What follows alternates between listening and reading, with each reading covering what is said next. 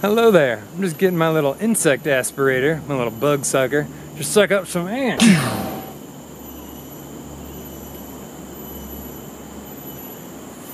ants are super cool. Ants are like everywhere. Everywhere you go, you can find different ants. You know what else ants are like?